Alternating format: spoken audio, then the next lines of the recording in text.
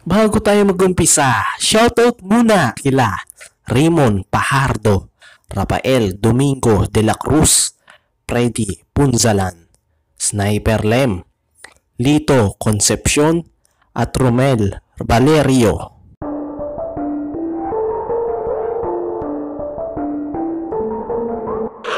Kamusta mga chong? Nandito na naman tayo para sa PBA Updates.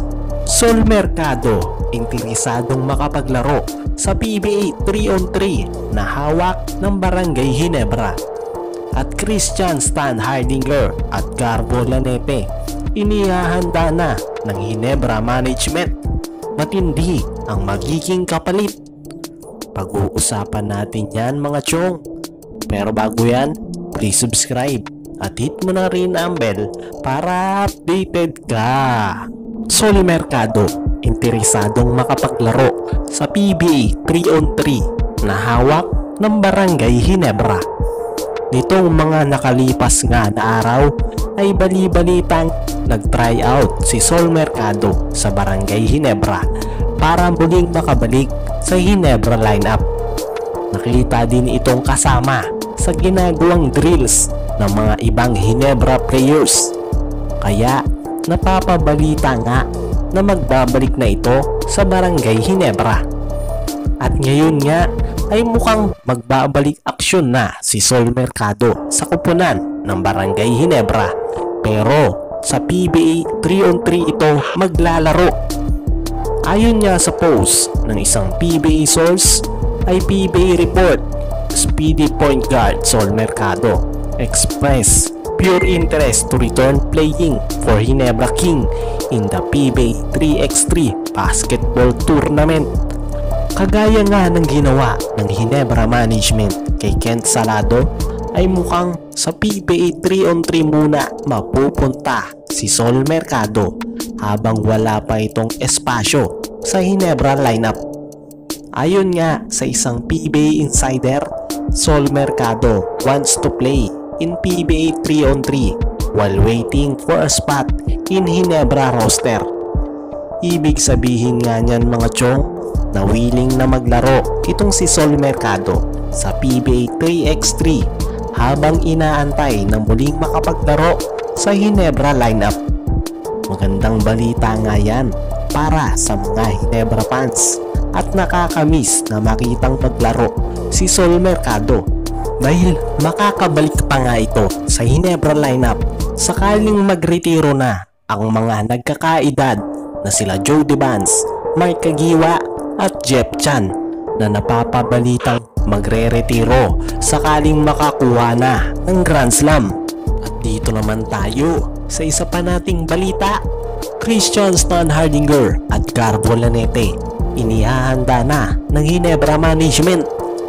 Nitong mga nakarang araw mga chong ay napapabalita nga na minamadali na ng Hinebra Management ang pagkuha kay Christian Stan Hardinger at ayon nga sa post ng isang PBA source ay sinasabing Northport Center Christian Stan Hardinger could potentially be headed to Ginebra before the PBA off-season ends.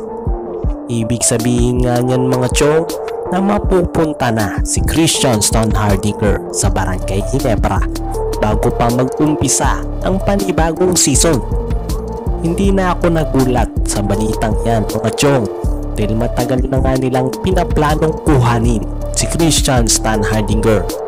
At ayon pa sa isang PBA insider ay Barangay Hinebra will get Christian Stan and Carbo Lanete for Greg Slaughter and Jerick Balanza. Trade papers already submitted to the Commissioner's Office. Isa nga lang ang ibig sabihin niyan mga chong na hindi one-on-one trade ang mangyayari. Dahil isinama nga sa trade itong sila Jerick Balanza at Garbo Lanete. Nitong mga nakarang araw ay narurumor na isa si Garbo Lanete sa kukunin ng Barangay Hinebra. At mukhang totoo nga ang balita na yan dahil isinama nga sa trade package itong si Garbo Lanete ito ngang si Garbo Lanete ay maaasahan pagdating sa outside shooting. Kaya hindi na ako nagtaka kung bakit ito gustong kunin ng Barangay Hinebra. Pero si Jeric Balansa nga ang magiging kapalit nito. Na alam naman natin na malaki ang potensyal ng player na ito. Para sa akin mga chong ay isa sa request ng Northport Batang Pier na kuhanin si Jeric Balansa para pumayag sa trade. Ganyan nga din ang nangyari noon sa pagkuha nila kay Stanley Pringle. Ni-request nga ni Coach Pido na idagdag si Sol Mercado kaya natuloy ang trade at malaki ang tsansang ganyan din ang mangyayari para makuha naman nila si Christian Stan Hardinger. Sa ngayon mga chong ay nasa commissioner's office na ang trade request na yan at inaantay na lang kung ano ang magiging desisyon ni Commissioner Willie Marshall na malalaman natin ngayong buwan ng Marso. Ano sa tingin nyo mga chong? Matutuloy na ba ang pagkuha ng Barangay Hinebra kay Christian Stan Hardinger? I-comment mo lang dyan sa ibaba at babasahin natin yan. At yan lang muna ang balitang PBA natin mga chong. Huwag kalimutang mag-like, comment, and subscribe para updated ka sa mga PBA updates natin. At bago tayo magtapos, shoutout muna kila Raymond Pahardo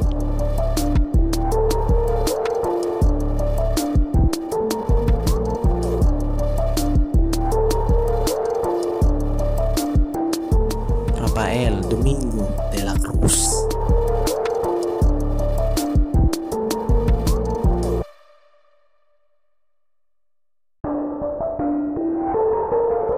Friday Kunzalan.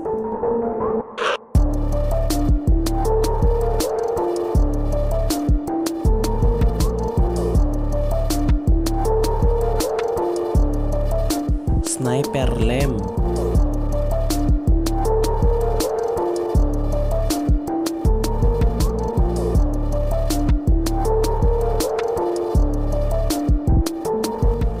Lito Concepcion.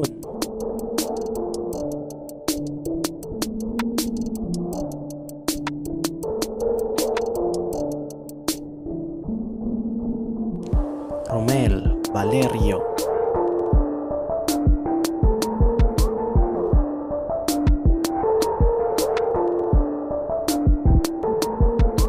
At Andro Anyoza